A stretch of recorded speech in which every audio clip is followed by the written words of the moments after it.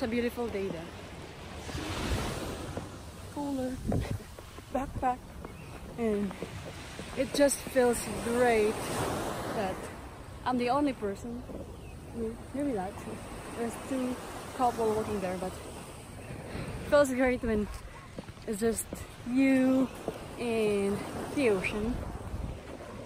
And I don't see the moon, okay, but it's it's full moon and it's beautiful here on Maui. That's my sweet spot right there.